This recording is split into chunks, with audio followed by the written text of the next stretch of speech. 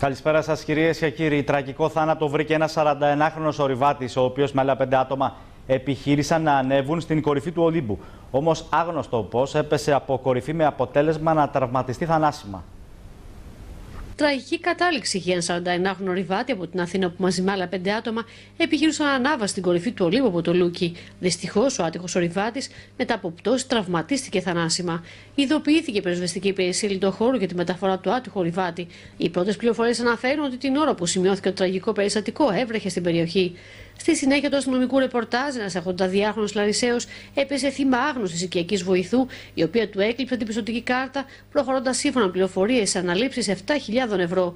Την κλοπή κατήγγειλε προχθέ 82χρονο στην υποδιεύθυνση ασφάλειας Λάισα όταν διαπίστωσε την απόλυτη τραπεζική κάρτα. Αλλά η κλοπή εκτιμάται πως σημειώθηκε από τα μέσα ως τα τέλη περασμένου Αυγούστου. Διάστημα που ο 82χρονο δέχθηκε την προσφορά της γυναίκας να τον βοηθήσει στις δουλειές του σπιτιού, μεταξύ των οποίων και καθαριότητα. Η οικιακή βοηθός φαίνεται φαίνεται να έκλεψε την πιστοτική κάρτα από το υπνοδωμάτιο του 82χρονου Λαρισαίου, προχωρώντας σε 9 διαδοχικές αναλήψεις, αποσπώντας συνολικά το χρηματικό ποσό των 7.000 ευρώ. Κρούσμα κορονοϊού τώρα, κυρίες και κύριοι, εντοπίστηκε στα δικαστήρια του Βόλου σύμφωνα με τις τελευταίες πληροφορίες. Η εξέλιξη σήμανε συναγερμό στις υγειονομικές αρχές, ενώ συνεργείο για απολύμανση στέλνει και ο Δήμος Βόλου μετά από εντολή του Δημάρχου κ. Μπέου. Σύμφωνα με τις τελευταίες πληροφορίες, πρόκειται για κρούσμα σε γυναίκα δικαστική υπάλληλο, σύμφωνα με τον ΕΟΔΗ. Έγινε όμως παράλληλα γνωστό ότι η γυναίκα υποβλήθηκε και σε δεύτερο τεστ, το οποίο βγήκε αρνητικό. Ωστόσο, από πλευράς του ΙΟΔΗ υπογραμμίζεται ότι το δικό του τεστ είναι αξιόπιστο. Πάντως, αύριο τα δικαστήρια του Βόλου, σύμφωνα με τις τελευταίες πληροφορίες, πρόκειται να παραμείνουν κλειστά. Κρούσμα κορονοϊού στα δικαστήρια του Βόλου με τον Δήμο να πρόκειται να επιστρατεύσει ειδικό συνεργείο για να επιχειρηθεί απολύμανση από κοινού με άλλες αρμόδιες αρχές. Για το θέμα τοποθετήθηκε σήμερα ο Δήμαρχος του Βόλου, ο οποίος επισήμανε χαρακτηριστικά ότι σήμερα το πρωί είχε ενημέρωση για τη συγκεκριμένη εξέλιξη. Να μην έχουμε κρούσματα. Τώρα πληροφορήθηκα ότι έχουμε κρούσμα στο, στο δικαστικό μέγαρο. Μόλι με πληροφόρησαν, μου στείλαν έγγραφο να πάμε να κάνουμε απολύμανση. Θα πάμε, αν και δεν είναι αρμοδιότητα της Δημοτικής Αρχής. Αλλά βρήκανε, λέει, κόλληβα να θάψουμε μερικούς. Ε, έτσι είμαστε εμείς. Στην πόλη μας ενδιαφερόμαστε για όλους και για όλα. Βρέθηκε κρούσμα κορονοϊού. Τώρα μας στείλαν επιστολή. Πήραν τηλέφωνο, έδωσε εντολή να πάει συνεργείο αμέσως να κάνει απολύμανση. Παράλληλα, ο κύριος Μπέος αναφέρθηκε και στα όσα συντελούνται τις τελευταίες ημέρες στο χώρο της εστίασης, με αφορμή για την παρουσία του σήμερα στο Πανελλήνιο Συνέδριο των Καταστηματαρχών Εστίασης και αναφέρθηκε και σε μέτρα που λαμβάνει ο Δήμος στο πλαίσιο της προσπάθειας που γίνεται πανελλαδικά από τις αρχές για τον περιορισμό του COVID-19. Να σταματήσουν τα κρούσματα πρέπει να συμβάλλουμε και να συμμετέχουμε όλοι σε αυτά τα μέτρα. Και κάνω μία έκκληση με αφορμή την Παρασκευή που την Πέμπτη μάλλον που η ποιότητα ζωής πήρε τρεις άδειες μουσικής στα παλιά σε τρία καταστήματα να τονίσω ότι ήταν για πρώτη φορά στα έξι χρόνια η σημερινή Δημοτική Αρχή που πήρε άδειες από οποιαδήποτε επιχείρηση. Που αυτό σημαίνει κάτι. Ένα κομμάτι που λέγεται εστίαση, έχουμε ανάγκη όλοι να πάμε με την οικογένεια, με το φίλο μας, με τη φίλη μας να φάμε και ένα μαγαζί που χωράει 100 άτομα να γίνουν 50, ναι. Αλλά στο κομμάτι της διασκέδασης, όχι ρε παιδιά, δεν πάω να διασκεδάσω. Η διασκέδαση δεν είναι ε, κάτι που το έχει ανάγκη ο άνθρωπος. Θετική στον κορονοϊό, όμως, κυρίες και κύριοι, βρέθηκε και μία νοσηλεύτρια στο Πανεπιστημιακό Νοσοκομείο της Λάρισας, ενώ ήδη ξεκίνησε η χνηλάτιση των επαφών της. Θετική στον κορονοϊό εντοπίστηκε η νοσηλεύτρια του Πανεπιστημιακού Νοσοκομείου Λάισα έπειτα από θετικό δείγμα σε εξέταση. Η νοσηλεύτρια τέθηκε σε κατοίκον περιορισμό στο σπίτι της, έγινε απολύμαση σε χώρους στους οποίους εργαζόταν και αναμένεται να γίνει χνηλάτη των επαφών της. Αναστάτωση όπως είναι φυσικό επικρατεί στους εργαζόμενους, οι οποίοι όπως καταγγέλουν πριν λίγες ημέρες άλλοι δύο εργαζόμενοι του νοσοκομείου είχαν βρεθεί να είναι θετικοί στον κορονοϊό. Ενώ όπως σημειώνουν από σήμερα τους κλείδωσαν και τους χώρους ανάπαυσης, ώστε να μην δημιουργείται, όπως τονίστηκε, συνοστισμός. Η με εντυπωσιάζει για να είμαστε λίγο ειλικρινείς ε, περιμένω εδώ και 8 μέρες κάποιος να μιλήσει για τις προηγούμενες δύο νοσηλεύτρε οι οποίες ήταν θετικές. Ε, ενώ σε όλη την Ελλάδα όλα ανακοινώνονται, εδώ σε εμάς υπάρχει μια μυστικοπάθεια. Ε, όχι απλώς με ανησυχεί, έχω φτάσει σε σημείο δηλαδή που λέω σε ποιο νοσοκομείο πλέον εργάζομαι. Και το ότι θα, ξέρω ότι θα περιπτώσουν ευθύνες κάπου αλλού τελικά, γιατί να ξέρετε ότι τα νοσοκομεία για να μπορέσουν να διασφαλίσουν κάποια χειρουργία, χειρουργείο, ε, θα παρακάψουν κάποιες άλλες ενέργειες. Γιατί εγώ αυτό βλέπω αυτή τη στιγμή δυστυχώς. Έτσι νομίζω. Ε, ήδη αυτή τη στιγμή, για παράδειγμα, με εντυπωσιάζει σήμερα ότι μας, ε, για να θεωρήσαν ήδη βγάλαμε μια απόφαση ότι ε, πιθανόν να ευθυνόμαστε και εμείς οι ίδιοι, επειδή μένουμε στην κουζίνα. Σήμερα μας κρατώσαν την κουζίνα.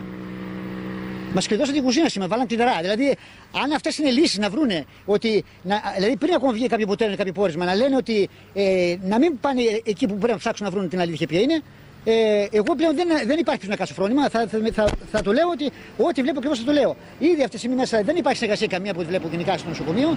Ε, για μας, μας θεωρούν απλά πάντα υπεύθυνοι. Μιλάμε πάντα για ατομικής ευθύνης. Δεν πρέπει κανένας ευθύνη όμω στη γενική ευθύνη των πράξεων. Δεν ξέρω, δεν ξέρω αν εφαρμόζονται τα πρωτόκολλα. Επιτέλους. Να τηρούνται τα πρωτόκολλα προστασίας των νοσοκομείων, ζητούν επίσης οι εργαζόμενοι, ώστε να αισθάνονται ασφαλείς στον χώρο εργασίας. Είχαμε ακόμα ένα περιστατικό πριν λίγες μέρες από την γαστρολογική κλινική για δύο συναδέλφου σας, οι οποίε και αυτές βρέθηκαν θετικές και είναι σε καραντίνα τώρα 13-14 ημερών. Ναι, σήμερα, χθες μάλλον, μια συνάδελφος από το χειρουργία και γίνεται η χνηλάτιση και τα άτομα που ήταν ε, μαζί της στις βάρδιες είναι σε, προς το παρόν σε καραντίνα από ό,τι έχουν πληροφορηθεί. Το θέμα είναι ότι ε, πρέπει να είμαστε προσεκτικοί γιατί στο χειρουργείο είναι μια μεγάλη ομάδα η οποία μπορεί να υπάρχει διασπορά του, του κορονοϊού. Πρέπει να γίνουν οι απαραίτητες ενέργειες. Πρέπει να προστατευτούν οι συνάδελφοι του περιβάλλοντος και πρωτίστως οι ασθενείς. Δεν είμαστε ε, σε, πρέπει να γίνουν οι απαραίτητες ενέργειε μάλλον για να δούμε πώς θα, πώς θα λειτουργήσει, γιατί είναι ένας κέριος ε, παράγοντας, ένας βασικός παράγοντας στο χειρουργείο ε, μέσα στο νοσοκομείο.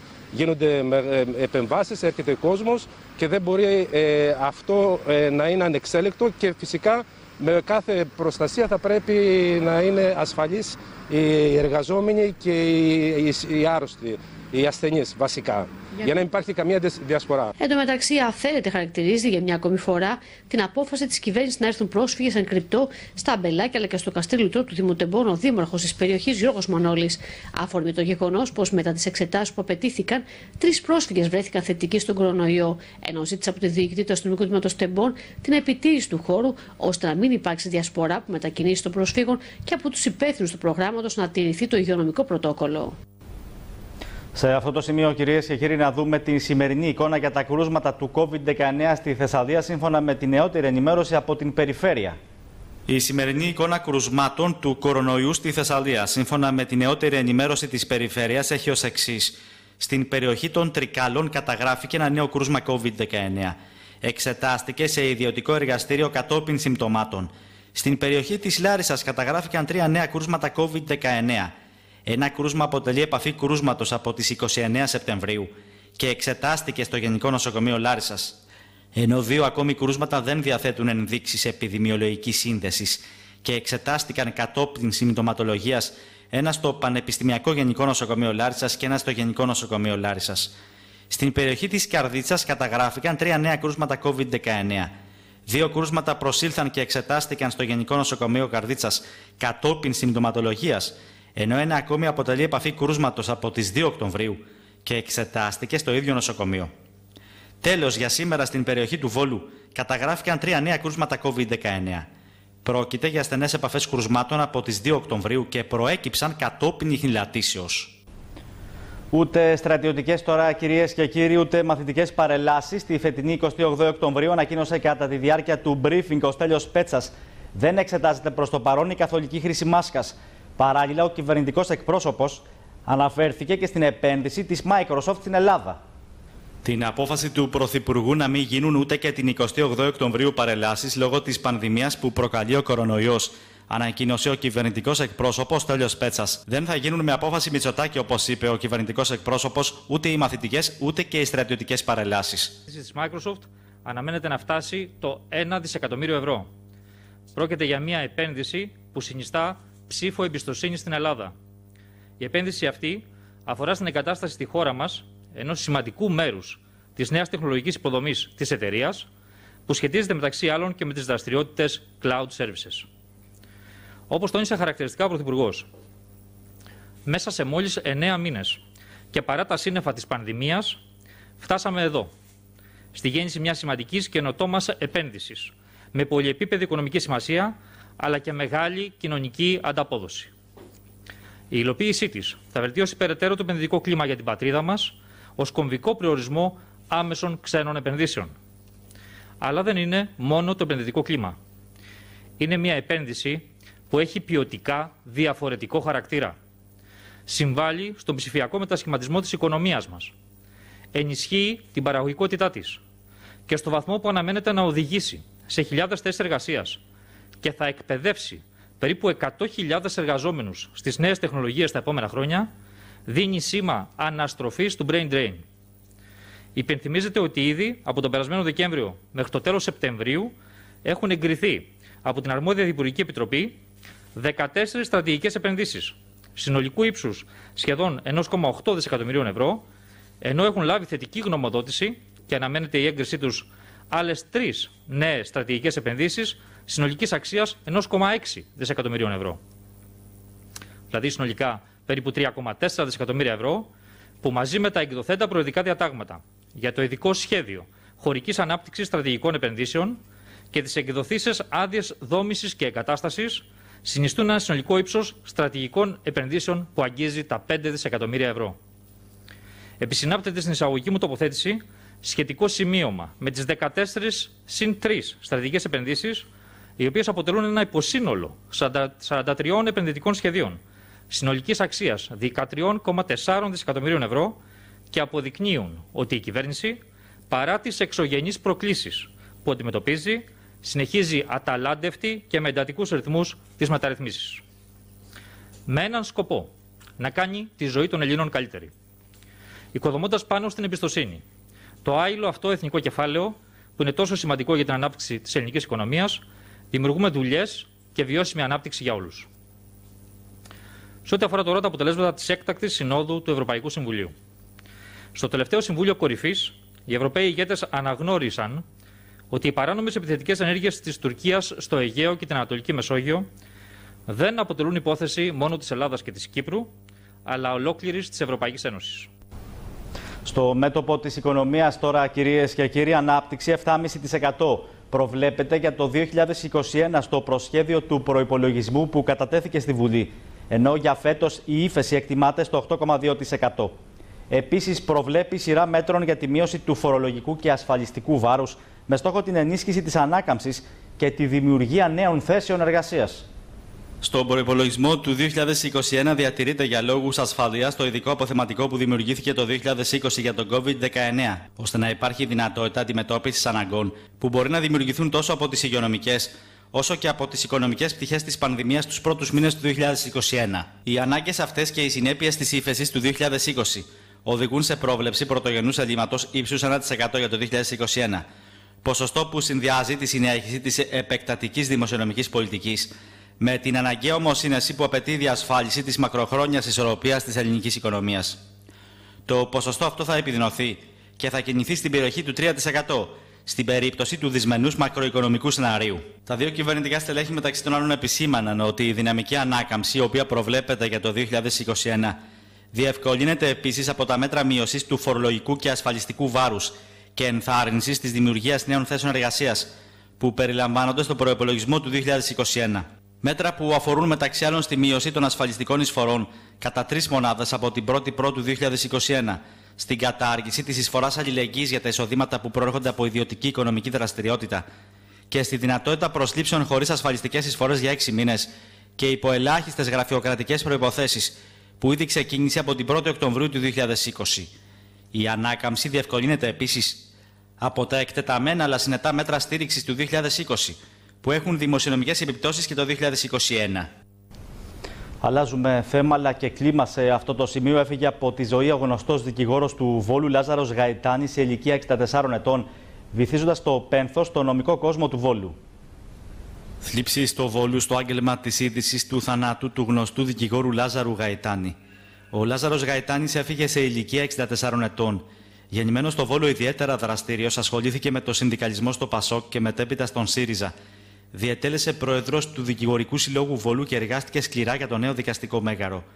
Ο Λάζαρος Γαϊτάνης είχε αναπτύξει μια ιδιαίτερη σχέση και με την τηλεόραση του Άστρα, αφού για χρόνια υπήρξε πολιτικός αναλυτής στον τηλεοπτικό σταθμό Άστρα. Το τελευταίο διάστημα έγραφε ποιητικές συλλογές και ήταν δραστήριο μέλος του Συλλόγου Καρκινοπαθών Μαγνησίας. Έφυγε νικημένος από τον καρκίνο με τον οποίο πάλεψε σκληρά το τελευταίο διάστημα.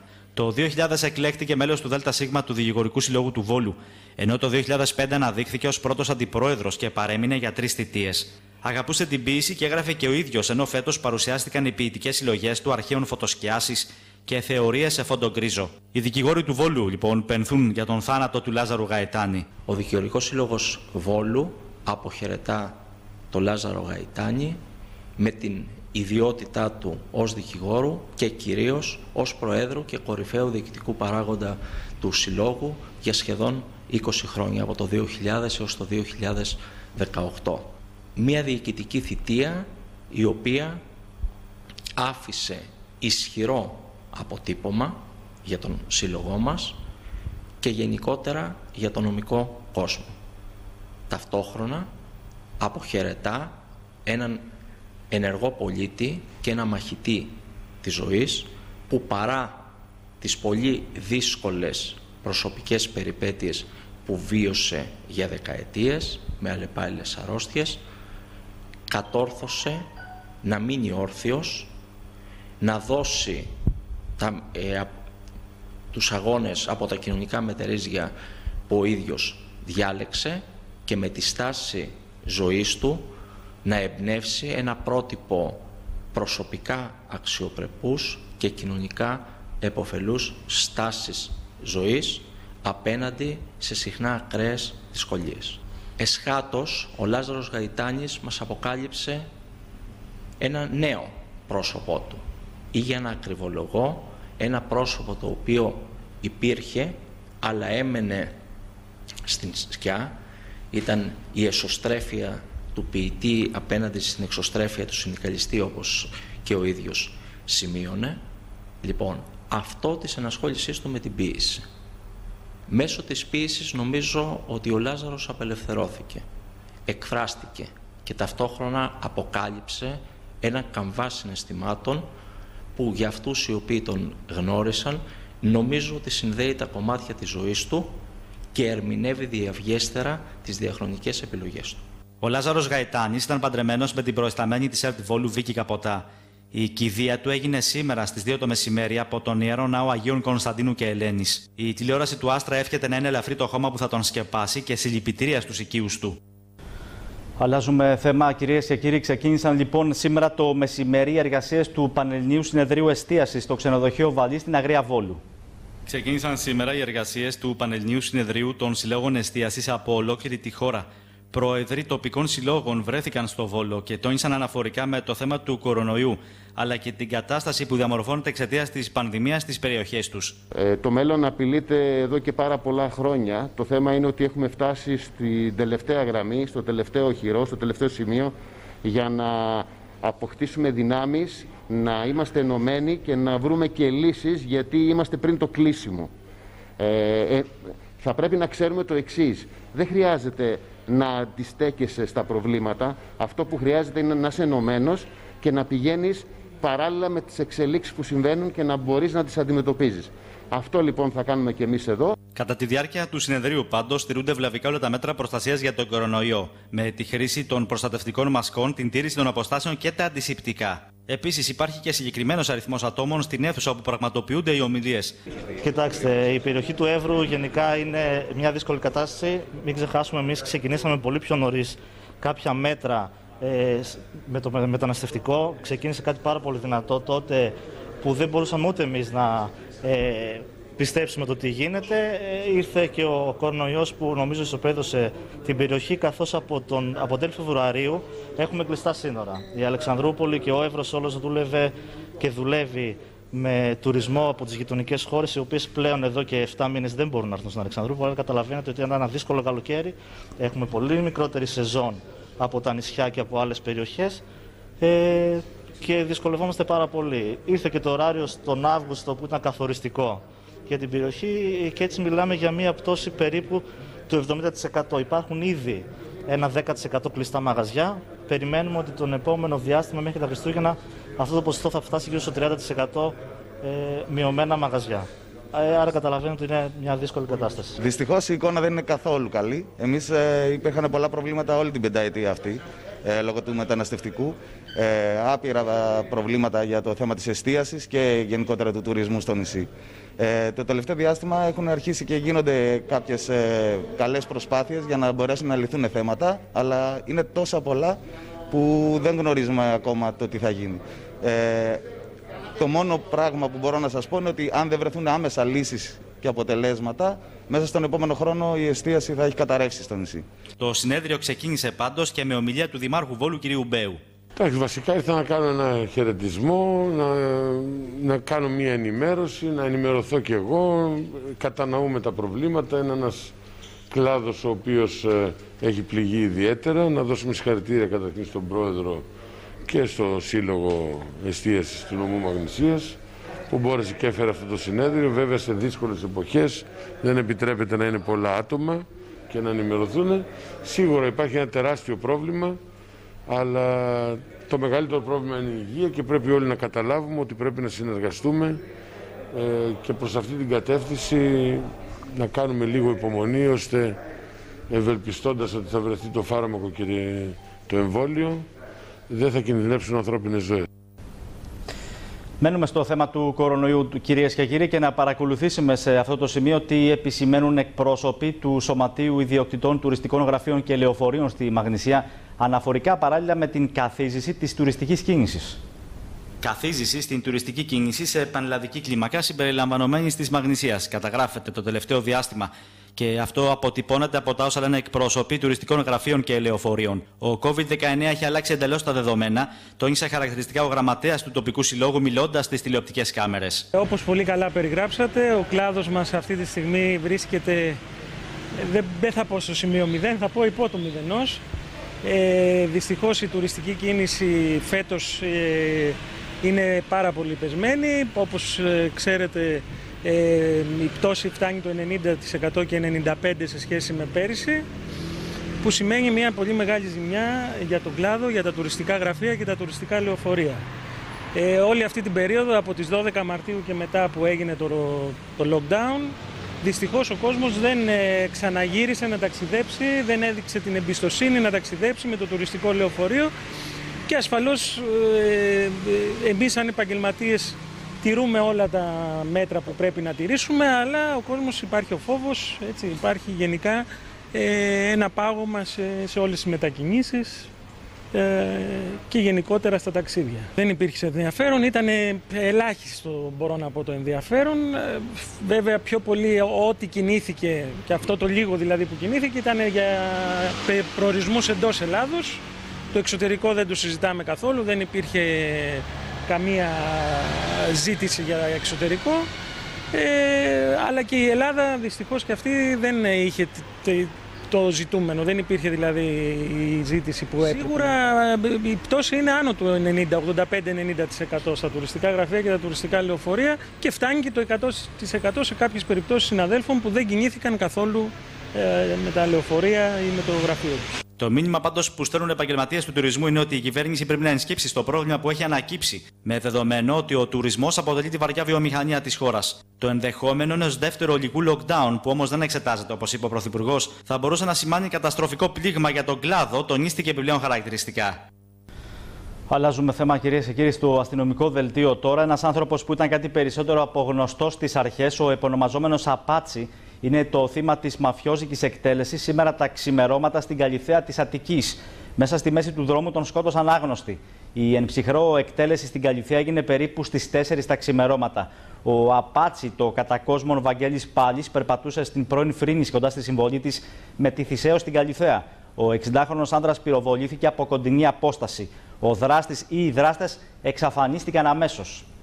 Αλλάζουμε θέμα, κυρίες και κύριοι, και σε αυτό το σημείο θα δούμε το ρεπορτάζ για το ποια είναι η εικόνα με την επάρκεια αίματος, αν υπάρχει ή όχι στο Αχυλοπούλιο νοσοκομείο του Βόλου. Να δούμε τι ακριβώς τόνισε στην τηλεοπτική κάμερα του Άστρα ο Διευθυντής του Τμήματος Αιμοδοσίας στο νοσοκομείο της πόλης. Την εικόνα για τις ποσότητες αίματος στο νοσοκομείο του Βόλου σε μια δύσκολη περίοδο εξαιτίας του κορονοϊού έδωσε ο Διευθυντής του Τμήματος Αιμοδοσίας κ. Λαφιονιάτης, τοποθετούμενος στην τηλεοπτική κάμερα του Άστρα. Ο έμπειρος γιατρός τόνισε χαρακτηριστικά. Στο νομό μας και στη δικιά μας υπηρεσία, ευτυχώς τα πράγματα είναι καλά. Αυτό αντανακλά στην ευαισθησία και στην ανθρωπιά των συμπολιτών μας. Δεν χρειάστηκε να προβούμε σε αναβολές χειρουργείων ή να καθυστερήσουμε τα εγγύη παιδιά με θαλασσεμία. Ε, πρέπει έτσι να συνεχίσουμε να είμαστε. Ε, οι αιμοδότες μπορούν άφοβα να προσέλθονται στο στην υπηρεσία αιμοδοσίας στο νοσοκομείο μας, από τον χώρο που έχουμε ε, ορίσει, ε, κουβεντιάζουμε με το ΙΟΤΟ για το ιστορικό και εμείς αναλόγως συμβουλεύουμε και επιτρέπουμε την αιμοδοσία. Ε, άφοβα μπορούν να προσέρχονται. Θα έλεγα ότι τα στατιστικά της αιμοδοσίας μας είναι περίπου ίδια με τα στατιστικά της Ελλάδας. Δηλαδή, ε, ο στόχος γενικότερα της αιμοδοσίας στην Ελλάδα είναι να έχουμε μόνο εθελοντές αιμοδότες. Απέχουμε πολύ. Οι διαδικασίες προσέλκυσης ε, σίγουρα πήγαν πίσω τώρα με αυτόν τον χαλασμό που βιώνουμε. Ε, αλλά ο στόχος του 100% εθελοντών αιμοδοτών απέχει πολύ από την πραγματικότητα. Ε, οι αιμοδότες, οι εθελοντές αιμοδότες, δηλαδή οι ασθενείς που δίνουν χωρίς να δίνουν για συγγενή τους, στην Ελλάδα είναι περίπου το 60%. Θέλουν να πάμε όπως στο εξωτερικό στο πάνω από 90%. Σε κάθε περίπτωση σημαίνουν λοιπόν να γίνουν πολλά περισσότερα στο επίπεδο της ευαισθητοποίησης και το βάρος πέφτει στην πολιτεία, ώστε να δίνει και την κατάλληλη παιδεία, αλλά παράλληλα και τα κατάλληλα ρεθίσματα σε μικρούς και μεγάλους για το σημαντικό κομμάτι του εθελοντισμού και της αμοδοσίας. Ξανά στο αστυνομικό δελτίο, κυρίες και κύριοι, διακριβώθηκε λοιπόν μετά από πολύμηνη έρευνα των αστυνομικών αρχών στο Βόλο η εξάρθρωση εγκληματικής οργάνωσης, η οποία ενεχόταν στη συστηματική διάπραξη απατών σε βάρος επιχειρήσεων εμπορίας και παραγωγής ειδών τροφίμων. Σύμφωνα με τις αρχές, εξηχνιάστηκαν συνολικά 16 περιπτώσεις απάτης, από τις οποίες 15 τετελεσμένες και μία απόπειρα που διαπράχθηκαν σε διάφορες περιοχές της ελληνικής επικράτειας. Από αυτές τις απάτες, η οικονομική ζημιά που υπέστησαν οι παθούσες επιχειρήσεις υπολογίζεται ότι ανέρχεται συνολικά στο χρηματικό ποσό των 523.604 ευρώ. Αλλάζουμε θέμα, κυρίες και κύριοι, σε αυτό το σημείο και ευθύς αμέσως θα δούμε το ρεπορτάζ από την πόλη της Λάρισας σχετικά με εκδήλωση που πραγματοποιήθηκε για το θέμα του κορονοϊού με γενικό τίτλο Για την αντιμετώπιση των επιδημιών από την Ιπποκράτη μέχρι σήμερα. Πραγματοποιήθηκε κεντρική εκδήλωση για τις φετινές εκδηλώσεις για τον Ιπποκράτη στη Λάρισα. Η ΑΕΝΑ, η επιστροφή στο θερινό σινεμά του Μήλου του Παπά με τον τίτλο Αντιμετωπίζοντας τις επιδημίε από την εποχή του Ιπποκράτη μέχρι και σήμερα. Η Λάρισα ήταν μία από τις πόλεις που αντιμετώπισε ειδικά προβλήματα ιδιαίτερα στην περιοχή της Νέας Σμύρνης, όπου αναγκαστήκαμε 5.000 άνθρωποι να μπουν σε καραντίνα και βεβαίως εκεί να δούμε πώς και με ποιο τρόπο θα μπορούσαμε να αντιμετωπίσουμε την εξάπλωση του ιού και την αντιμετώπιση της πανδημίας εκείνη τη στιγμή.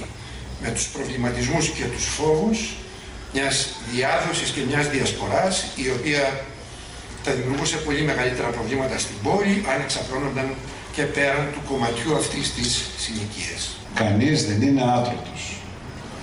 Και αυτό πρέπει να παραλαμβάνεται κάθε μέρα για να ενεργοποιεί τις, τα αναγκαστικά της καθεμιάς και του καθενός. Αναγκαστικά προφύλαξης του εαυτού του καθενός της καθεμιάς για να μπορεί να προφυλάσει και τον άλλον. Η εποχή μας, η εποχή μας είναι αναθεωρητική.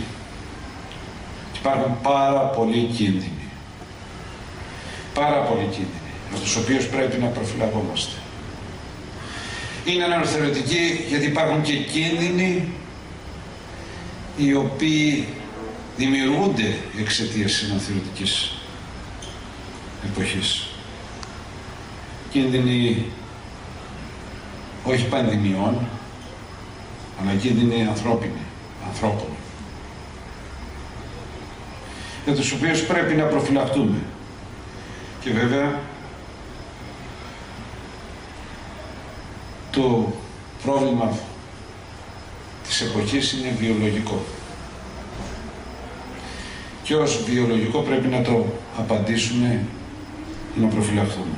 Συνεργαζόμενοι όλοι για να τιμήσουμε τον πατέρα της σύγχρονης ιατρικής, τον Ιπποκράτη.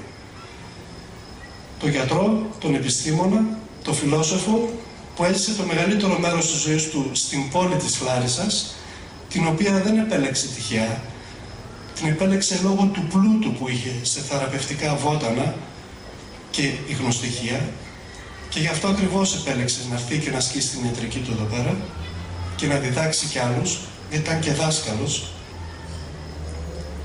Και τελικά έζησε το μεγαλύτερο μέρος της ζωής του στην πόλη μας, στην πόλη της Λάρισας, στην οποία άφησε μια τεράστια παρακαταθήκη που καλούμαστε τώρα εμείς να την αξιοποιήσουμε και να την αναδείξουμε. Ο Ιπποκράτης για άλλη μια φορά τα τέσσερα τελευταία χρόνια επιστρέφει στη Λάρισα και μάλιστα επιστρέφει σε μια πολύ δύσκολη περίοδο. Ίσως να είχε υπόψη του τις δυσκολίες που αντιμετωπίζει η ανθρωπότητα και οι συμπολίτες στη Λάρισα αλλά και όλοι οι Έλληνες και έρχεται να μας φέρει τη σοφία του γιατί ο Ιπποκράτης ξέρει, όπως και η ανθρωπότητα γνωρίζει ότι οι επιδημίες δεν είναι κάτι καινούριο, ξεκινάνε από αρχαιοτά των χρόνων, μάσησαν την ανθρωπότητα και όσο ζωφερά γίνουν τα αποτελέσματά τους, η ανθρωπότητα έμεινε πάντα κερδισμένη. Έρχεται να μας θυμίσει ο Ιπποκράτης ότι με απλά πράγματα, όταν συνεργαζόμαστε και όταν έχουμε νου και γνώση και αναλαμβάνουμε την ατομική μας ευθύνη, με τα ίδια μέσα όπως και τότε ο Ιπποκράτης συμβούλευε τους συνανθρώπους του να αντιμετωπίσουν τις επιδημίες, με τα ίδια απλά μέτρα και σήμερα μπορούμε να αντιμετωπίσουμε αυτό που βιώνουμε. Οι φετινέ εκδηλώσεις είχαν διαφορετικό περιεχόμενο και προσανατολισμό λόγω των ειδικών συνθήκων της πανδημίας του COVID-19, που δεν επέτρεψαν με τη διοργάνωση μιας μεγάλης καλλιτεχνικής εκδήλωσης όπως τι προηγούμενες χρονιές, έδωσαν δε την αφορμή για να παρουσιαστεί μια νέα πτυχή του έργου του Ιπποκράτη, αυτού που σχετίζεται με επιδημίες. Μεγάλη επιτυχία τώρα, κυρίες και κύριοι, σημείωσε το συμπόσιο λογοτεχνίας που πραγματοποιήθηκε από το Σύνδεσμο Γραμμάτων και Τεχνών Θεσσαλίας υπό την αιγίδα του Υπουργείου Δικαιοσύνης. Ο Σύνδεσμο Γραμμάτων Τεχνών Θεσσαλίας, σε συνεργασία με τον Κύκλο Ελλήνων Λογοτεχνών Δικαστών, υπό την αιγύδα του Υπουργείου Δικαιοσύνης, καθώς και την Αντιδημαρχία Πολιτισμού και Επιστημών του Δήμου Λάισα, διοργάνωσαν συμπόσιο λογοτεχνίας στο ανοιχτό θέατρο του Κέντρου Αποκατάστασης Άνιμου.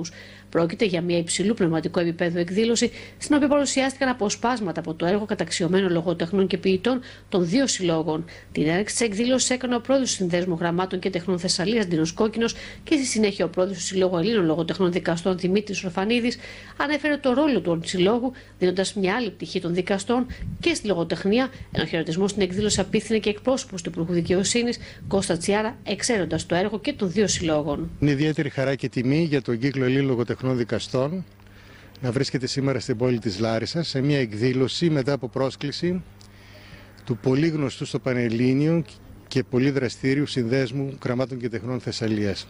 Η πρόσκληση του Συνδέσμου προς τον κύκλο ήταν άκρος τιμητική, τη δεχτήκαμε με μεγάλη χαρά.